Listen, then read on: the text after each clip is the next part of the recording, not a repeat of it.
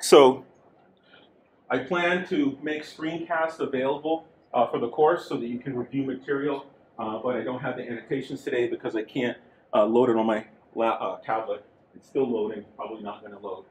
Uh, so again, of course, there's the homework. Um, please limit your side conversations. I can hear you, and it's a bit of a disruption.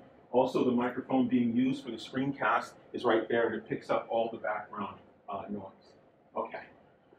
So we talked about Haymarket and used that to motivate uh, this idea of observables and events uh, and stochasticity in general.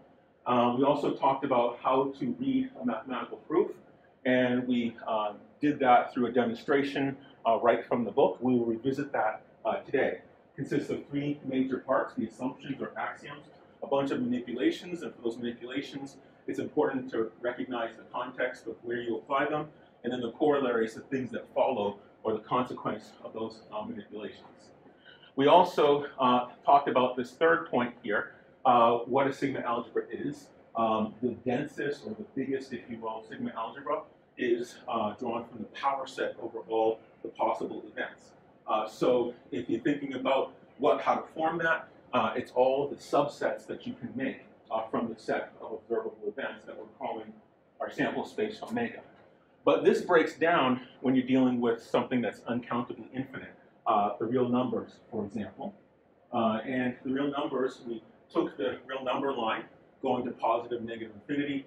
We marked the integers, the positive and negative whole numbers, and we subdivided the real number line. We can count those subdivisions. Uh, then we took one of those regions and we further subdivided it and showed that you can't possibly subdivide it to the point where you can identify the individual real numbers. It's not possible to do that. And that was our illustration uh, for what uncountably infinite means. And so this idea of a dense sigma algebra, the power set, if you can't even identify the observables in omega or sample space, like a temperature, 60 degrees, 60.0000001 degrees, how can you possibly form this power set if you can't even identify the individual elements of the reals. So that presented us with a problem, and we talked about the Borel uh, sigma algebra, uh, where instead of taking the individual members of the set of real as the things uh, your events, you're taking intervals, right? Because you can count those intervals. And we showed with this example about what uncountable means. You can make intervals consisting of the space or the gap between the uh, subsequent uh, integers, right? So between 0 and positive 1, 0 and negative 1, uh, negative 1 and negative 2, and so forth. You can count those intervals. And so the idea with this fix-up attributable to Borel, someone's last name, called the Borel algebra, is to fix up this problem where this idea of a sigma algebra broke because you can't count uh, the real numbers. So we then ended with this first grade number line and this idea of fix-ups in math because something broke is all over the place. And an early example of that was the number line. And when you learned how to add, they said, okay, you go to the left. So if you said 1 plus 3, you start at the 1 and you go over one, two, three uh, spaces to the right. Uh, and that's a total of 4. Likewise, if you subtracted, you learned that you would go to the left. So if you subtracted 3 from 21, you start at 21, you go 1, 2, 3 to the left. That was 18. But back then, they didn't tell you that there was such a thing as a negative number. That's a fix-up, right? It didn't exist, all right? And historically, it didn't exist. Someone had to fix up this problem where you couldn't subtract a bigger number from a smaller number. You ran out of number, right? Uh, and so this idea of fix-up is not unique to what we're doing in stochastic computing. It's all over the place in mathematics. And so uh, through some of the time in this semester, and certainly other parts of your math uh, related education, you're going to see a lot of these fix-ups. Okay? All right. Any questions about this? All right. So I'd like to show you an example of an observable. And this one, I'm not sure if I showed this last time. Uh, this is the entry box of a retail establishment. And as you can see here, it's an overhead camera. And the entry box is that part, we call it the foyer, I call it the entry box of the store. And you see this blue rectangle that's superimposed by the surveillance system. And you might think, gosh, well, that's for loss prevention, right? Well, It's also for counting uh, the number of people that enter the store, so they start on the outside of the entry box and make their way to the inside, or the number of people that leave the store. And you'll notice here, uh, there's a statistic there, enter, with the number who have entered, and statistic uh, of the number of people, the counts uh, of people who have left. Now, of course, the difference between the two are the number of people that are in the store, and certainly over time, you can track that and decide things like how many employees you need, how much revenue you're making during certain periods of the day. Now, if you can actually come up with a probability that describes the event of someone entering or leaving or the difference, uh, the number of people that are in the store, you can do a lot of things with the retail establishment in simulation. And the reason why you might want to simulate that is because with a simulation, you can ask it questions. What if I did this? What if I did that? Without doing damage to the actual store, based purely on the real numbers, the actual numbers that you measured uh, through your system. So this sort of thing is used all over the place in some supermarkets and warehouse uh, retail establishments. They track where customers are walking, right? Uh, and the idea is what is the most popular floor space in the store. Because certainly uh, the floor space that people visit more, you want to put items want to sell because you want to get eyeballs on the product, so to speak. Okay, so this is a real example, and people really use this sort of thing to collect data uh, that they use as the basis of building models, the classic models, that they then simulate, and then they ask those simulations questions and make decisions. Any questions about this? Yes.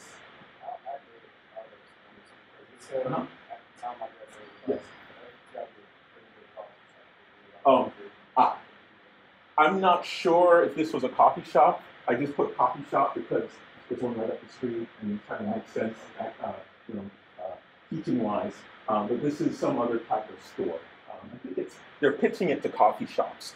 But to answer your question, it's not inconceivable to have that many because if you look at Starbucks, right?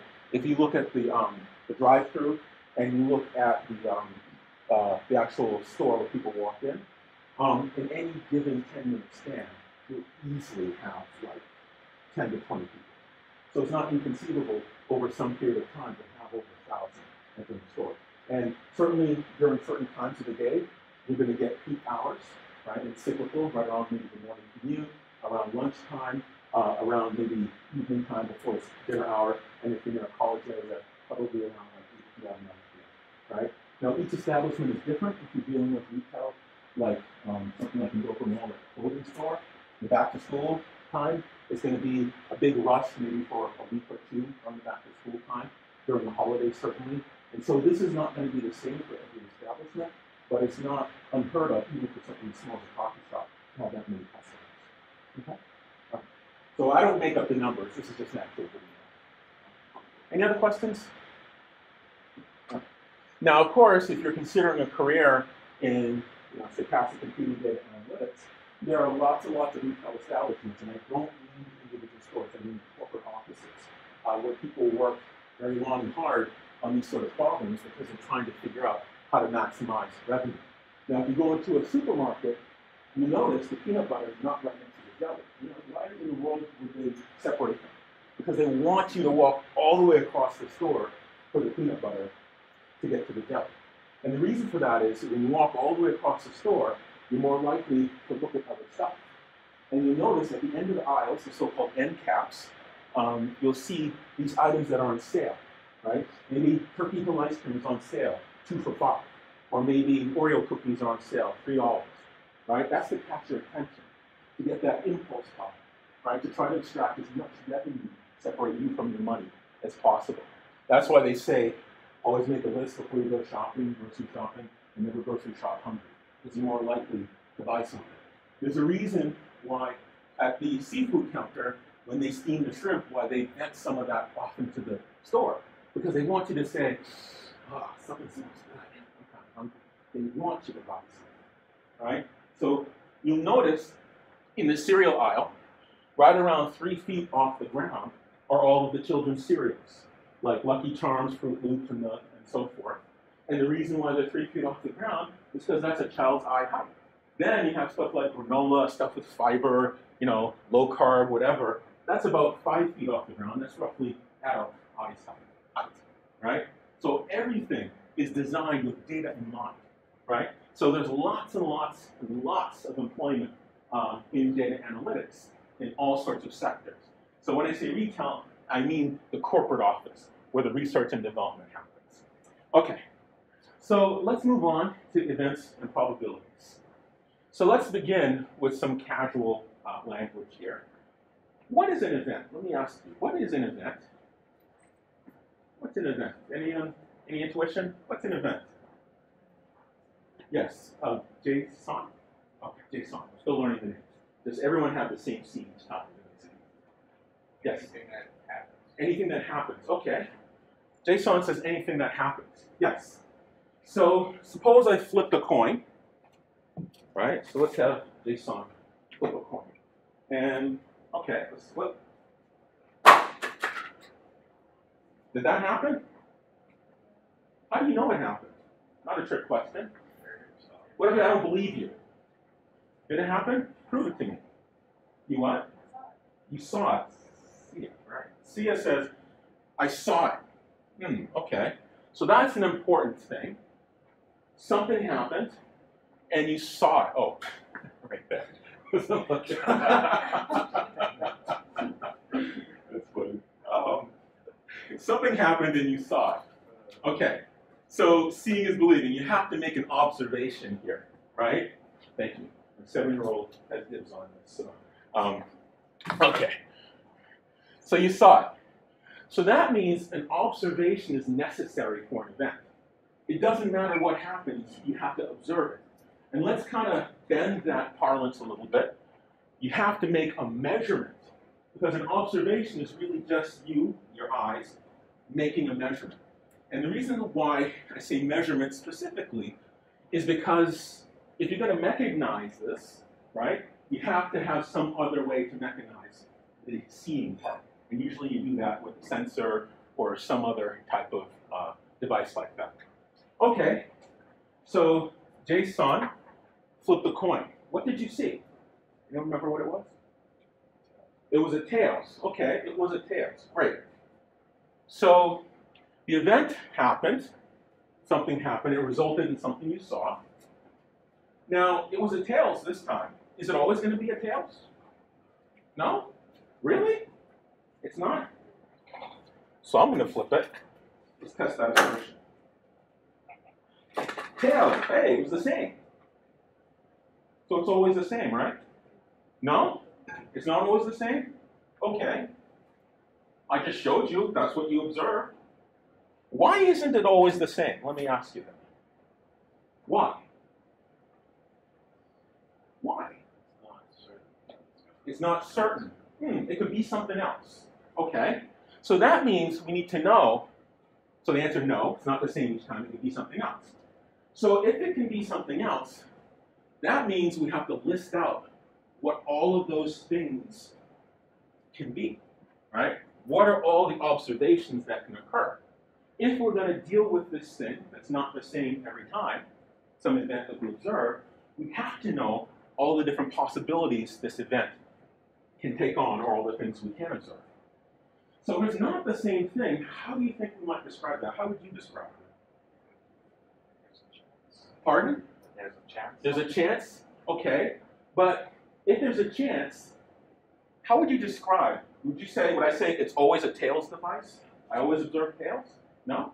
So how would you describe it if it's not always the same? What do you think? What's your intuition? It can be heads or tails. So you're going to list out all those things that you can see, possibly, right? That's the only way you can describe it if it's never the same. So let's consider a different event.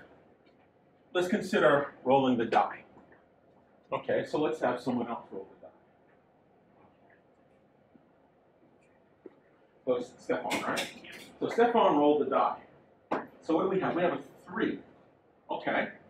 Is a die different from tossing a coin? Is it rolling a die? That's an event. You observe something. How is it different? The probability is different. Ah, probability. That's a loaded word. We haven't covered that. You're absolutely right, uh, Kelsey. Right? So Kelsey says the probability is different. Absolutely. They are different. But just purely at this juncture, we know that we had an event, we can observe something. We can observe a, we observe a three right now. Is that different from flipping a coin? How is it different in terms of the observations? So the coin, in the hand, your the die could be one through six. Okay, so what we observe is very different. Now, this idea about the probability, that gets towards this notion of difficulty, right? And we haven't gotten there yet, but you're absolutely right, right? The probabilities are different. Okay, so it is different from flipping a coin. Now, intuitively, every one of you has this idea if we were going to gamble based on these two types of events, that the coin would be preferable to the die. And the reason it's preferable to the die is because it's easier to get it right. There are only two possible observations, whereas with the die, there are six. If you pick one, there are five ways you can get it wrong with the die. So let's think back to that gambling. What if instead of a dollar, if I said, hmm, you wager a dollar, I wager a dollar, flip a coin, and guess what the outcome will be. If you get it right, you keep my dollar. If you get it wrong, I keep your dollar. What if we said, roll the die, and we're going to have a similar gambling game. You guess what the event outcome should be before the roll happens. If you get it right, you keep my money. If you get it wrong, I keep your money. Do you think that game should be different? How much should you win? Is it more or less based on the difference between rolling a die and flipping a coin? It should be more money. Why should it be more money? You're gonna lose, or there's a better chance for you to lose. Better chance to lose. You win more. Yes. I was gonna say with the guy, Uh-huh. you could both be wrong. Because you have Mhm. Ah, you have more possibilities, but as the house, I'm going to say the house wins if you're wrong. So you get to pick one event out of the six. And if you're right, you keep my money. If you're wrong, doesn't matter how many ways you can be wrong, I keep your money, the house, so to speak. Okay. So we'll notice that the die is sort of a little bit more difficult. What if I kind of sweetened it a little bit? I said, you put down one dollar, I'll put down six dollars. Roll the die, and if you get it right, you keep my six dollars. If you get it wrong, I keep your one dollar. Which one are you more likely to play? The dollar coin game or that six to one dice game? Which one? The pardon? The You're more likely to play the coin still? yeah. What if I sweetened it even more? I said, because everyone has a point where they're still where they're going to do it. I said, you wager one dollar. It's the same dollar. Step right up, right, like the carnival. And if you get it right on a roll, I'll give you ten dollars. If you get it wrong, I keep your one dollar. Would you still do it? Would you do the coin still? No? How about twenty dollars? Wait, twenty dollars if you get it right? If you get it right, you keep my twenty dollars. If you get it wrong, I keep your one dollar. Oh, I do the coin. You do the coin. Still a no, or the no, Okay, well, hard bargain. Well, certainly, the coin is easier to win. So if you play it for a long time, and we talk about this later, not today, but later on in the semester when we talk about expectation, the coin is easier to win. But it takes you longer to build up that winnings. The die, it's harder to win, but when you do, you get a big windfall of cash. And it's, casinos absolutely have teams of people who figure this stuff out because the casino will never lose money. They always win uh, game money. Question. Can't you make die, rolling the die the same probability as the coin by saying, okay, you roll anything between one and 3 Uh-huh. versus Mhm. four, six, Ah. it's half. Just Okay, you could do that. But then what I would do, because you haven't taken this class, I would say you have to gamble two dollars instead of one, right? It's the same thing as the coin. And I'm glad you said that because when you group it together, one to three versus four to six, it's exactly the same behavior as flipping a coin. No difference whatsoever, right? So you know, you, you know, you read these stories about people who quote unquote count cards in poker. All they're doing is computing probabilities in their head. Now, casinos don't look favorably on that, So don't go over to Dover Downs and do that. And by all means, don't say Dr. Holness told me to go do. No, I'm not telling you to do that. I'm just saying it's a thing, right? But don't do that because they really don't like when people do that for some reasons. That's probability. All right. So, yes, you can sweeten the pot, and by increasing the wager, right, you're almost paying for that difficulty. You're saying, I recognize the fact that the die is more difficult. And by allowing you to win more if you get it right, it's sort of paying for that risk, that very high likelihood that you could be wrong. Okay? And most games of chance are like that. Take, for example, like Powerball, right? You only spend $2 and you could win $100 million. Wonderful. But the likelihood of you doing that is one in, I think it's like eight or nine zeros or something like that. I can actually calculate it for you. We can go over that one of the classes. But it's really rare to win Powerball. But oh, what you win when you do. Okay. All right. So we have this idea that we have these events, things that you observe, and different types of systems, right? A system consists of objects, they do something, events occur, and you observe the result of that event. So a coin flip is a type of system, and it behaves differently from the die roll. It's a different type of system, right? So we have these systems, they have outcomes, they behave a certain way, and we want to be able to describe this behavior in terms of the observations that we see if we continue engaging on these systems. All right. So how is it different? We already talked about that. So an event needs a bunch of things, right? We need something to happen. In probabilistic parlance, this is called an experiment or a trial. You do something, you measure something, something occurs in the environment. You need an observation. You have to measure something, examine an outcome. Now, of course, because you can get an outcome, you need this third thing. You need these outcomes to occur at a certain time or a certain way. Now, I know, well, I'm fairly young, but I've always believed musically um, that everything you need to know about life came from the 80s and the 90s in terms of music, right? And so this one is about probabilities.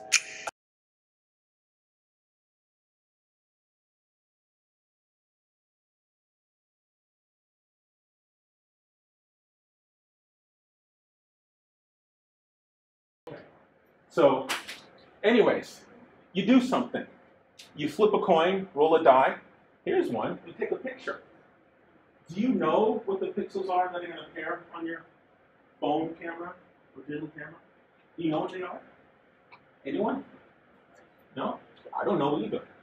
Right? That's a type of observation. Granted, it's a very complex observation. There are a lot of pixel values, a lot of pixel colors, but certainly this is another type of system. So, you observe some outcome, like the side of a coin, the side of a die, or maybe it's a 2D matrix of pixels from an image. It's not the photo with a digital camera. And given that we don't know which outcome is going to happen, the only thing we're left with, if we're going to try to describe these systems well, so that we can use them and recognize them, is to list all the possible outcomes. So we just list them all out. So let's do that. So if we were to look at the coin events, we call one H and one P for heads and tails. Likewise, for the sides of the die, we would call one, two, three, four, five, six. Now, of course, there could be that weird, freakish thing that happens, the coin lands perfectly on its side. You could encode that too if you would. But that's not going to happen very much. Very rarely. If that happens, then you need to buy a lottery ticket because something is smiling on you. All right.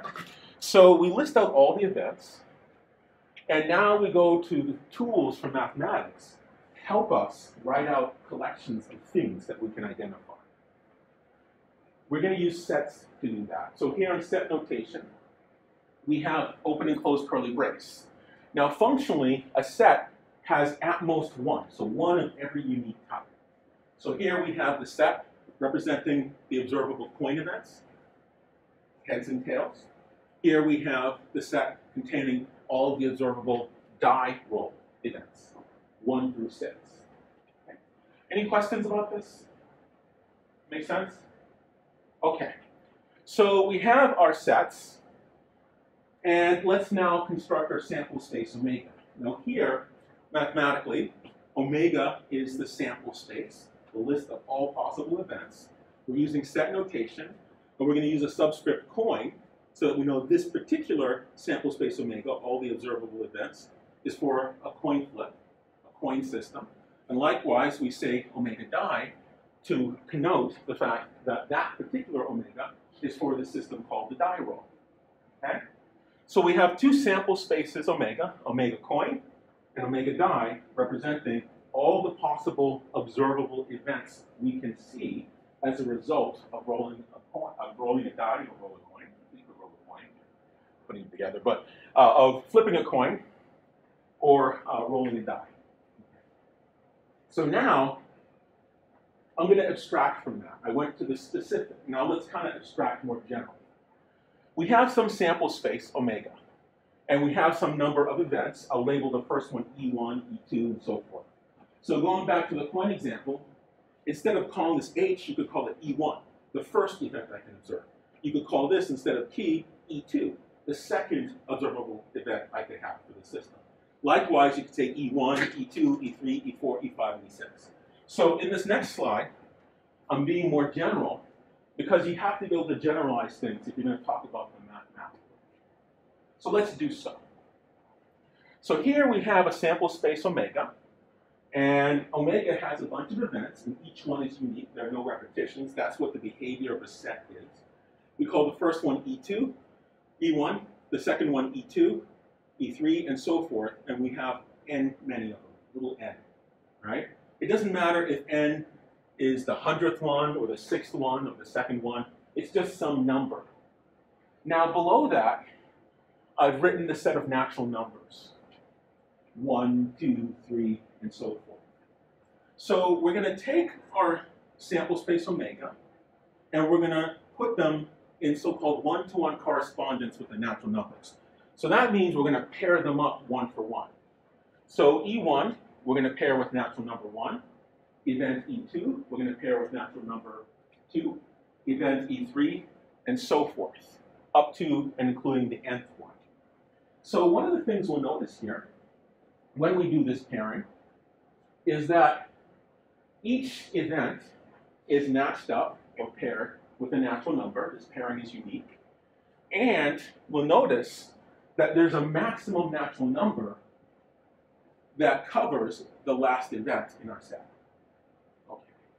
So if you have that maximum in order of the naturals, that maximum natural number that's paired with an event in omega is going to be the count or cardinality of our sample space omega. And it's important to know the size, the count, or the cardinality of your sample space because that's going to help us formally define this idea that I've been calling when can I see you again, the probability, right? Now, of course, for something like a coin flip and a die roll, it's very easy to think about. But it's a lot harder to think about, for example, let's say if I have five proteins, two starches, and 10 vegetables, how many meals can you compose out of that if you need a protein, a starch, and a vegetable? So we're going to have to learn how to depict and count or enumerate the number of things we can observe, and we do it with simple things so that you learn the process such that when you get to more complex systems, that you can easily calculate that. Because you need to calculate it in order to start talking about and computing these probabilities. Does it make sense? Okay, any questions? No? Make, okay. So, this cardinality of omega, in this particular case, mathematically, how we notate this, or note this, is with these bars, magnitude, or cardinality. We could call it absolute value. But for sets, it's cardinality. For numbers, it's absolute value. So this cardinality of omega is n because when we draw one-to-one correspondence between omega and the naturals, the maximum one is n in the set of natural numbers. Okay? That's why the cardinality exists. That's what cardinality is. And in this particular case, it tells us how many different possible observations we can make. And so that's why we know a die has six choices. That's why we know a coin has two choices. And you might be saying, you know, well, that's, that's obvious. That's kind of silly. It's kind of stupid, right? Well, it seems obvious because these systems are simple. But when the systems get more complex, we have to follow a process as to how you get to this cardinality. Okay? So you start with the simple to practice the techniques so that you can apply them to something that's not so simple. Okay, so the basic number of members of a group are cardinality, and that arrives or derives from the one-to-one correspondence with the natural. Okay, so let's talk about a little bit more complex type of system. So instead of one roll of a die, let's have big N rolls of a die. Big N could be two, could be six, could be 10, doesn't matter how many rolls it is. So a more complex system is how many events are in the set of N rolls of the die. Now that's a lot more complex to think about, right? A lot of so-called moving parts. So again, the three things we need, and we'll walk through this, is that we have something that happens, okay? We have an observation, okay? You have to see something, you have to know what those observations are. And then when can I see you again?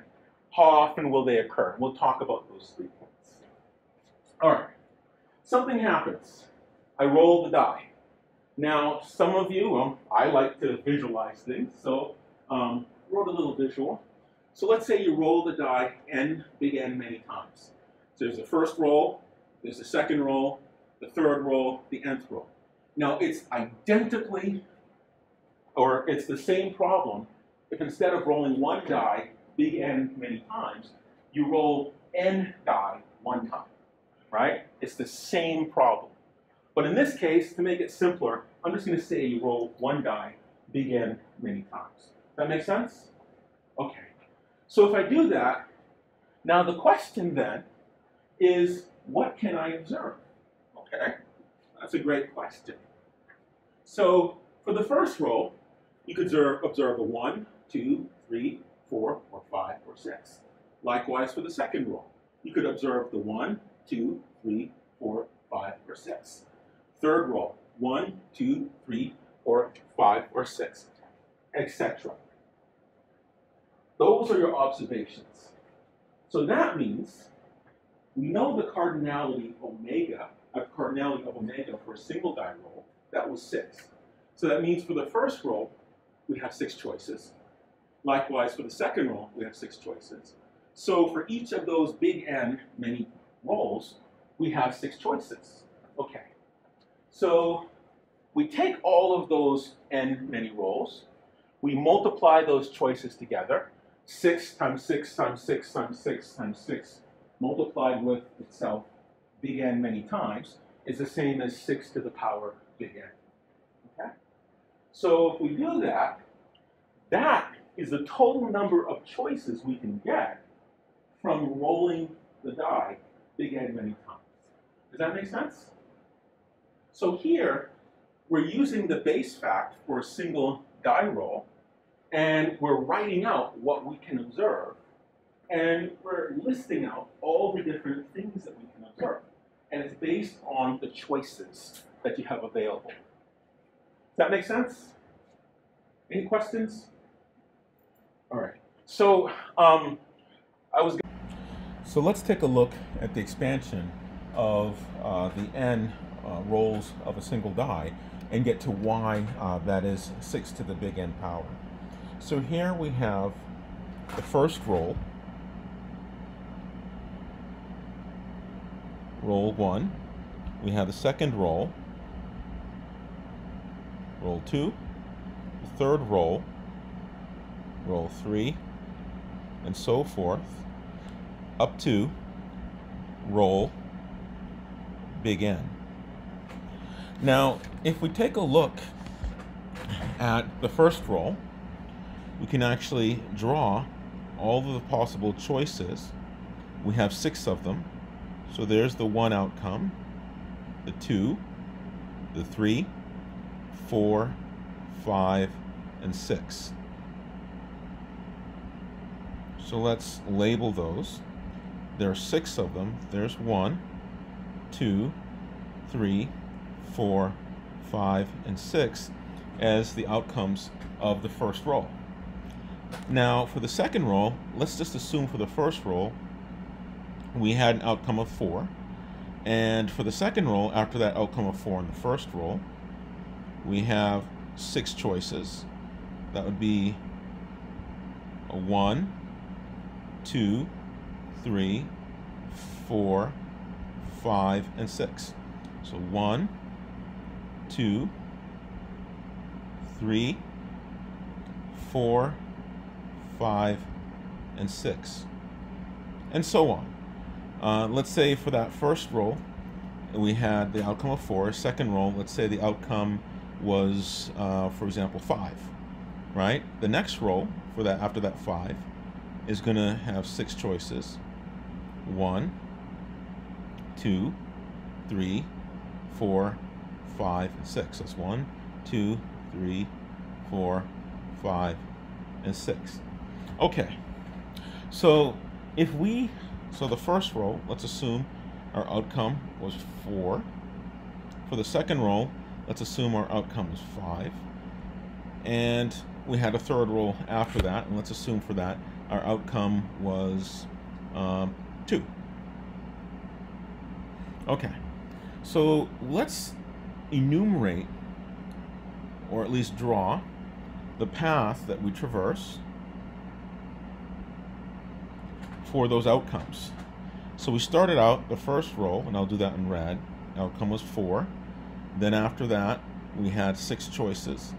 And for that, the outcome we said was five. So there's a five. We trace that path. And then for the next roll, the outcome was two. So we trace down that path. Now, if we were to actually count the number of paths we can have along this tree expansion from the first row up through the nth row, we have a total of six to the n many choices. So let's illustrate this with the first two rows. Now, for the first row, we have six choices, right? And after that first choice, if we had an outcome of one, we'd have six choices, two, three, four, five, six. For the second one, we'd have six choices, one, two, three, four, five, six. For the third one, six choices, one, two, three, four, five, six. For the fourth one, six choices that we have drawn here, one, two, three, four, five, six. For the fifth one, six choices, one, two, three, four, five, six. And for the sixth one, six choices, one, two, three, four, five, six. So here what I've drawn are the six choices for the second roll that you can have given an outcome for the first roll. So if we were to count just for these two rolls, roll one and roll two, which I'm depicting here using each of these kind of bushy trees on the end of the outcome of roll one, we were to count all the possible paths, well, for an outcome of one, we have six choices. For an outcome of two, we have six choices. Outcome of three, we have six choices for the second roll.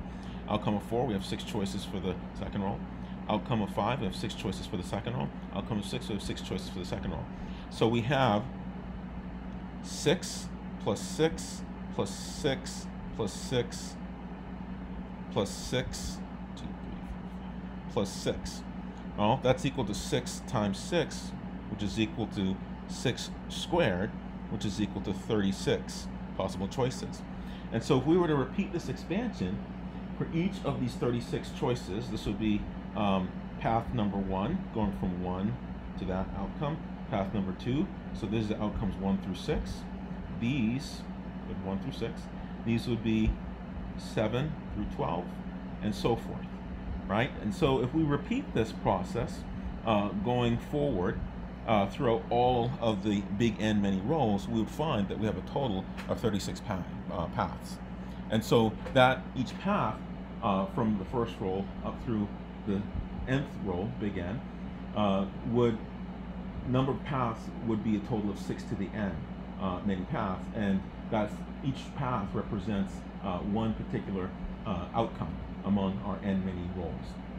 So that's why this is multiplicative, uh, because for each branch, if you will, we have six branches or possibilities for the subsequent uh, following uh, roll. Okay, so let's go back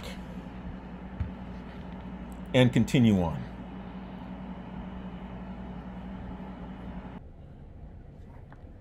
There we go. All right, back to where we should be. All right, so complex event. So we multiply all the choices that we have uh, for each of the rolls, right? So this gives us a total of six to the n choices uh, over those big N many die rolls. So any outcome can appear. So we also then, and this is the when can I see you again part, describe the percentage of the number of trials in which we'll see each one of those outcomes, right? That's the when can I see you again, that's the probability. So you do something, that's number one, the event. You observe something, we just counted all those possible events that could occur for the big N many die uh, outcomes, uh, for the six to the big N many outcomes uh, of the die roll. And now we want to look at when can I see you again. So this is to express the degree to which an event is possible, right? When can I see this event again? Right. So in life, you know, words are an interesting thing, and you know, they made us struggle with five years of Latin. So damn it, I'm going to use it as much as I can. Um, bless you. So um, ity, ity, is a suffix that is used to denote the quality or condition. So humility is the quality of making yourself humus, like the earth, of making yourself low, right? Not to be concerned, to be confused with hummus, which is pretty good.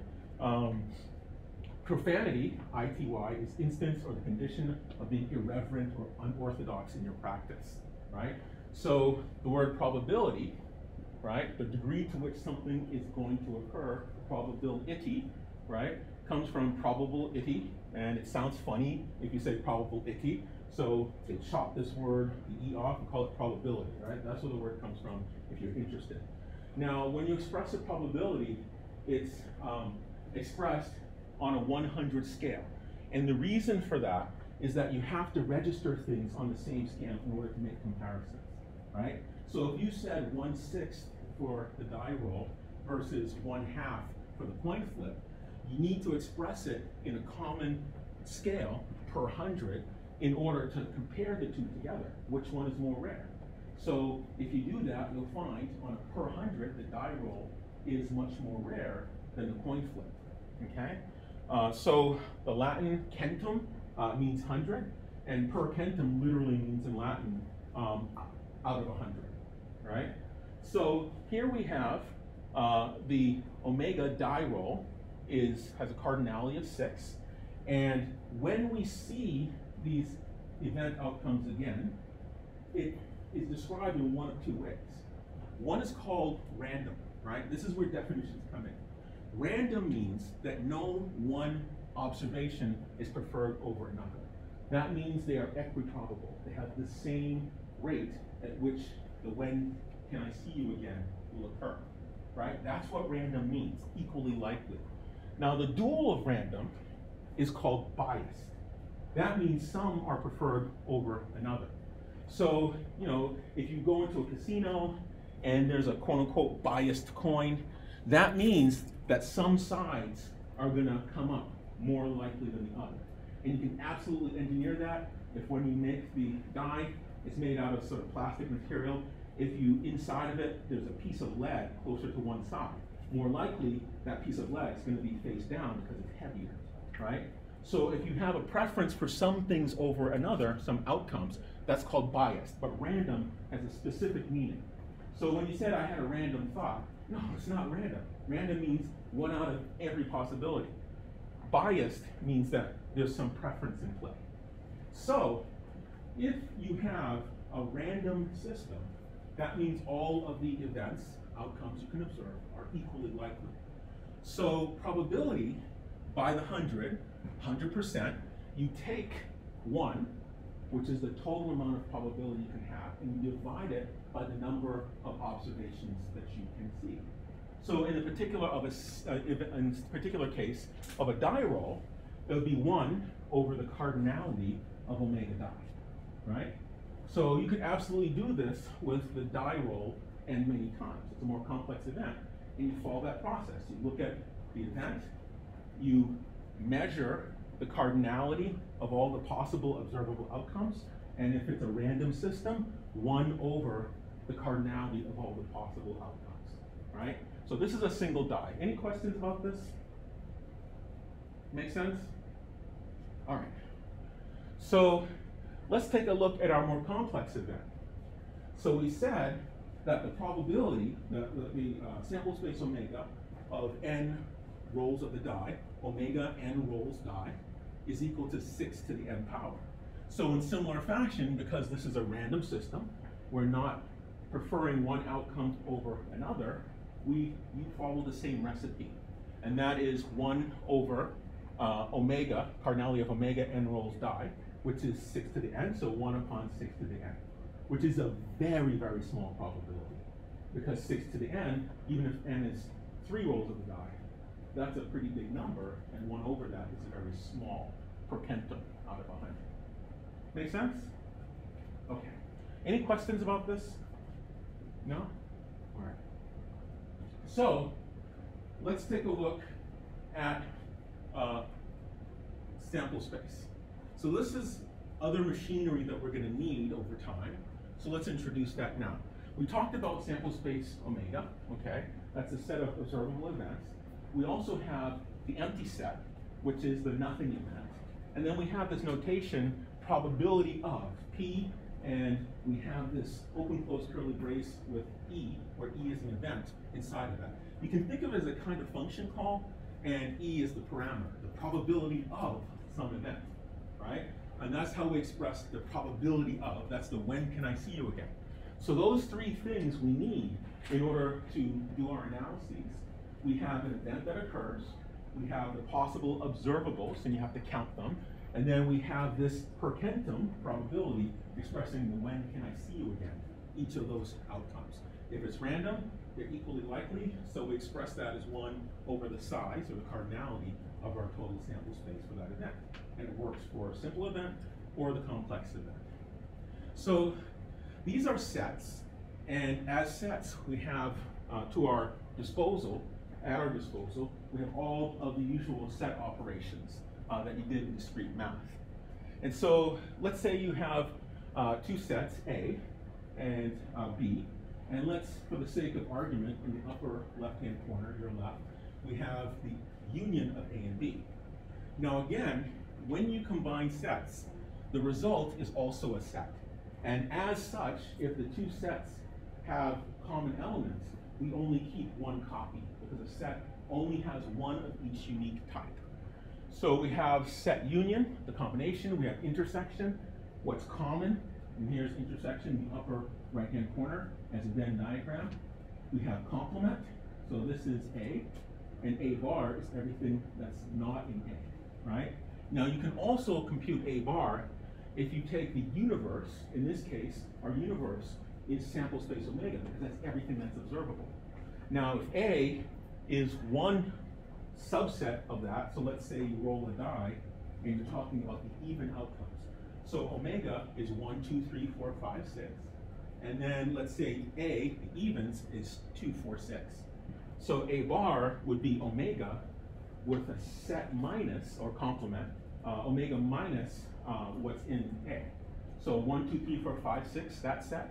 If you remove two, four, and six, you're left with one, three, and five, right?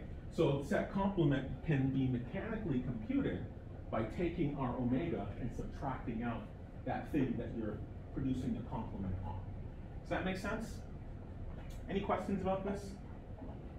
All right. So then we also have set difference. This is set difference, A difference B. It kind of looks like a weird divided by with the divided in the wrong direction, right? Um, and that's everything in A that's not in B. So if you take A, you look at what's common to A and B, and you subtract out what's common between the two. What's left is A difference B, set difference. Any questions about this? Make sense? Yes. Pardon? Ah, um, exclusive OR is A bar B, A, A bar and B, ORed with B bar and A. It's a little bit different. It takes what is, um, what is different between the two. Uh, so you can actually construct uh, exclusive OR. Exclusive OR is often drawn as plus with the uh, circle over it. So if you had A, X, X or B, that's A bar B ORed with B bar A. So that's everything that's in B but not in A, uh, uh, ORed with everything that's not in B and with A. And so Venn diagrammatically, if this is A and this is B, that's this region and this region is the exclusive OR. So it's a little bit different from the set difference. It's related, but it's a little bit different because if this were A exclusive OR B, you'd also have that section included. Okay? All right. Any other questions? Okay. So let's do an exercise.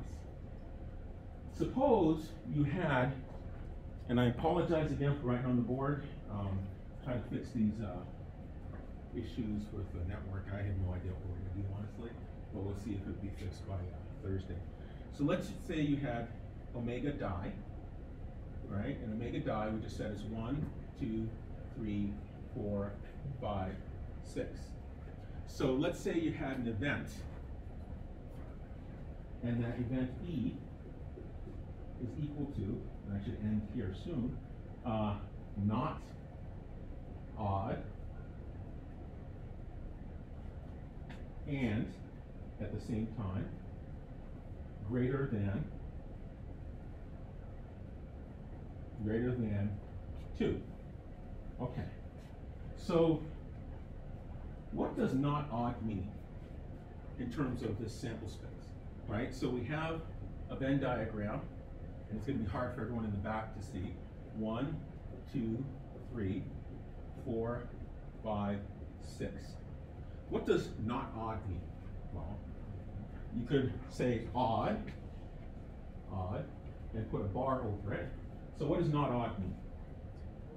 Two, four, six. All right, so not odd says everything that's outside of the odds. So odds are one, three, five. Not odd, be two, four, six. Okay, so let's, I only have black here, so I'll do a dotted line to represent the other set. And at the same time, greater than two. All right, so greater than two, what is greater than two? Is three, four, five, six. So three, four, five, six in the dotted line here. Kind of hard to see. Um, okay, so if I said not odd, which is two, four, six, and greater than two, which is uh, three, four, five, six. When it's really big, it's harder to see. Um, so if I have the and of these two, what would that be? It would be four and six, greater than two, and four and six. So it's where they overlap. So let me just draw a clean one here. One, two, three, four, five, six.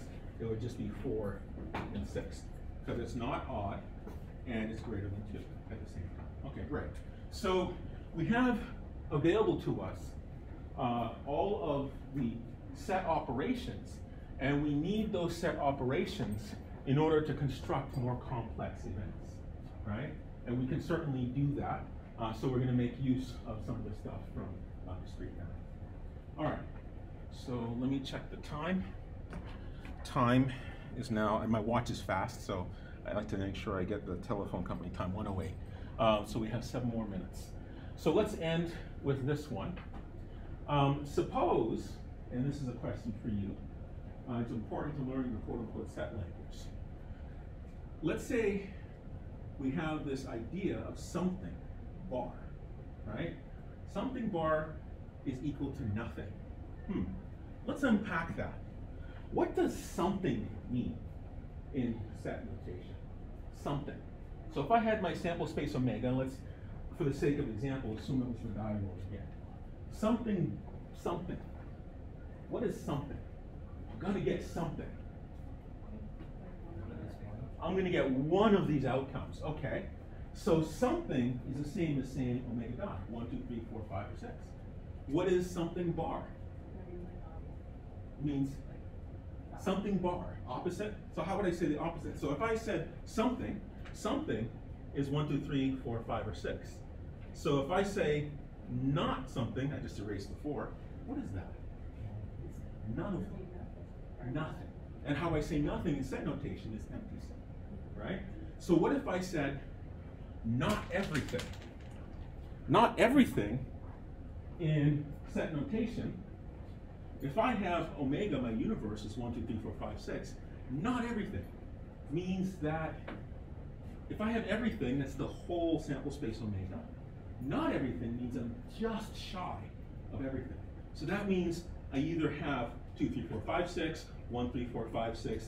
I take out one of them. That's not everything, right? So not everything bar is the same as saying at least one. Because if my not everything did not include the one, if I take the complement of that, that's just the one. If my not everything did not include the two, my complement of that is just the two, right? So from a set language perspective, not everything bar is the same as saying at least one. And so, so I'd like for you to start to get an intuitive feel, particularly using things like the die roll and the coin toss, with different types of concepts you could express. And at one point for a project, I'm gonna have you design a game and pick a decent wager and analyze if the game is winnable, if the house makes money, what the house is supposed to do. Okay? All right. Any questions about this? No? All right, so let's end there and we'll pick back up next time uh, and finish the module. I'll see you all on uh, Thursday.